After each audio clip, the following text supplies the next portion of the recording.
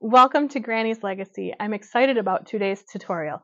Um, today I'm going to demonstrate um, a beaded edging that you can do around the edge of your wool projects um, that is secure and just beautiful and tight. Uh, so let's dig in. So right here I have a project called Tilly. And it's just a cute little 8 inch mat. Um, the first thing I'm going to do is thread my needle. And I am using a size 7 embroidery needle.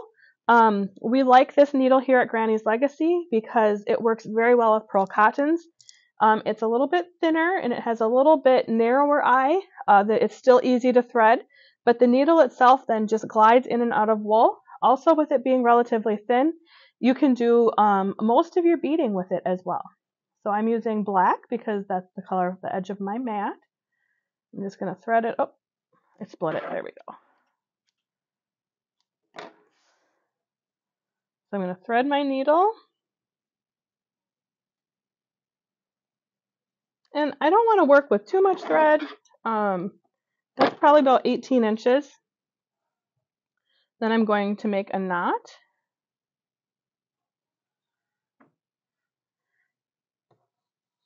And you can see that I've already started here, um, so you can see what it's going to look like.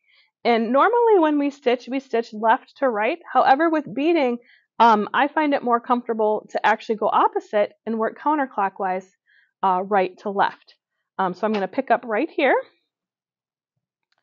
Uh, so it's just like I've already, I should back up a little bit. I've already completed a blanket stitch all the way around the edge of my mat. So this is a two-step thing. Uh, so first you complete your blanket stitching all the way around the edge of your mat, and then we add the beads. Um, so I'm going to go to the, the back of my project, and just like uh, with the blanket stitching, I'm going to slide in here between the layers um, and come up where I left off. Um, and as you can see, my needle went between the layers, so you don't see my thread on the front or the back.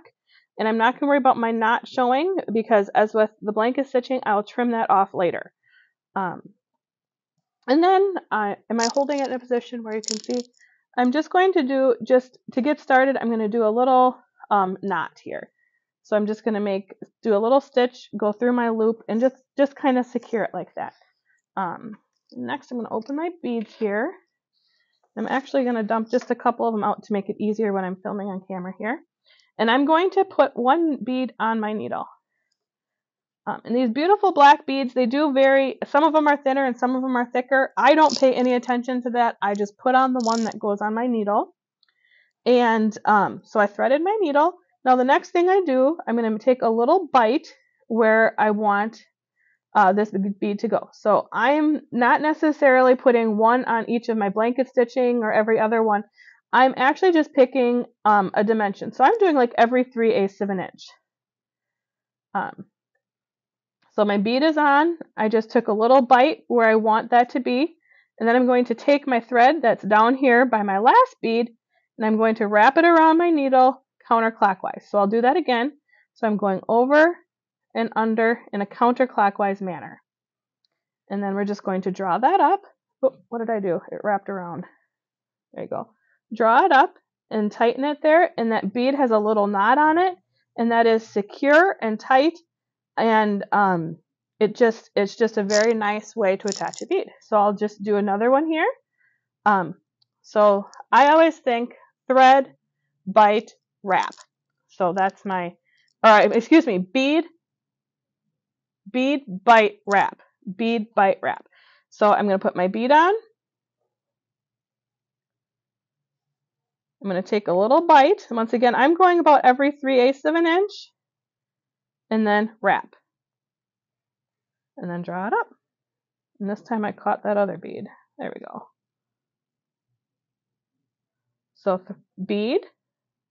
And the bead is on the thread, right? Yep. Can you kind of show? Okay, there we go. All right. So bead. And I'm going to take a little bite. There we go. And I'm going to take the thread down here. And the thread is underneath of your needle, right? It's on underneath the project. It's... Yep. Okay. And then wrap around counterclockwise. So over and then under. And then tighten.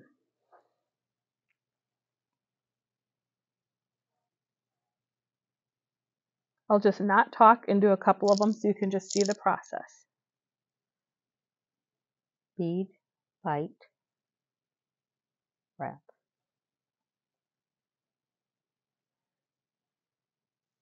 Oh, that one slid away.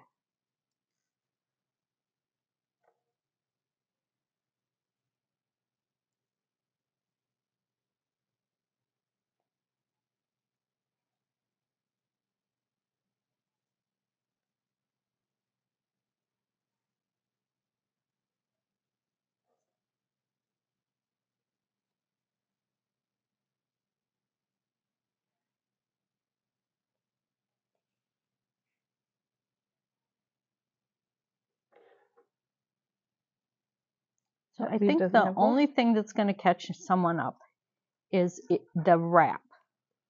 So string your bead, take a tiny little stitch, and then when you wrap, it goes away from the last bead, over the needle and around.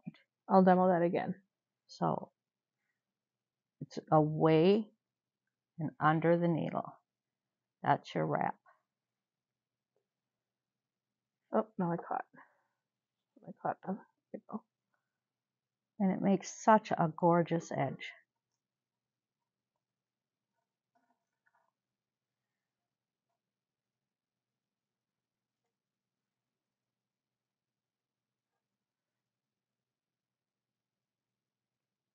So a little tiny stitch into the fabric, over and under.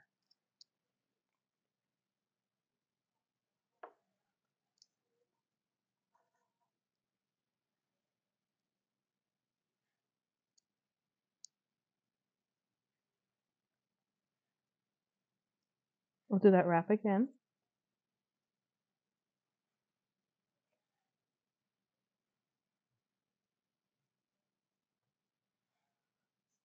And then I will show you how to end. Um, if I were need to rethread or if I was back to the beginning, um, I simply do what I did when I started. I just take a little nibble right by my last stitch and then go through that little loop and do a little locking stitch like that.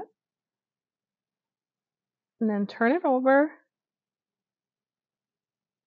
and then fish between the layers about half to an inch like that. And then snip. And then when I'm all done, I'll go to my ironing board, um, put this face down, and then just take the no uh, steam it real good, and then take the nose of my iron or the point, and just iron these areas where I I knotted uh, really well. And then uh, when it's cool, I'll just snip my ends off. And the fusible that we've used to hold the back on will lock in those ends. So there you have it, a beautiful locking beaded edge. Thank you for joining us and happy beading.